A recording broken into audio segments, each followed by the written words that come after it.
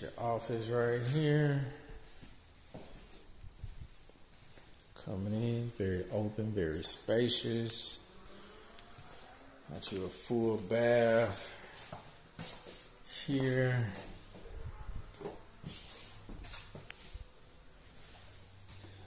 Bedroom downstairs for the in laws.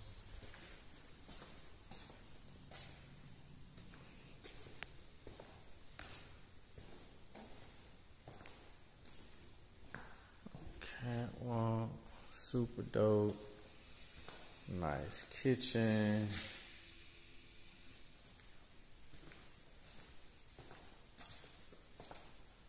Again, very open, very spacious. Going.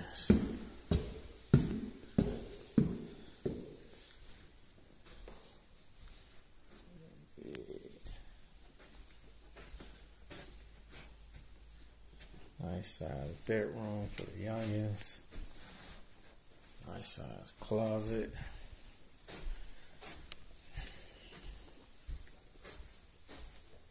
Full bathroom.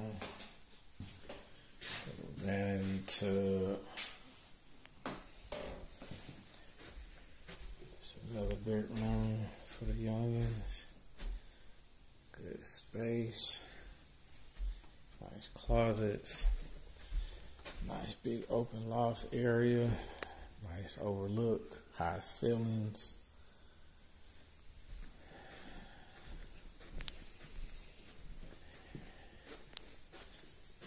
Got another one. Guess this one might be baby girl's room since she the oldest. Nice closet. Got her own bathroom. Don't have to share with little brother. Got a little thing right there.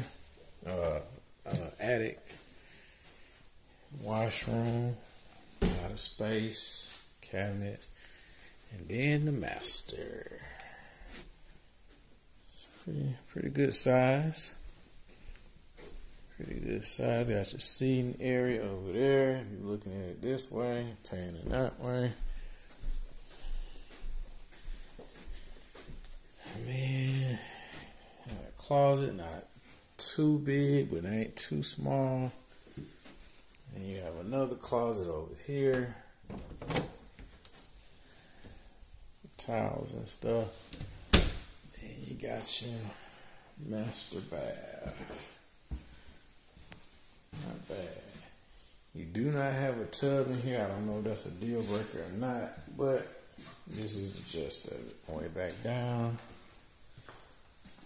Backyard is decent size. You got no neighbors behind you, just trees. Another little patio area.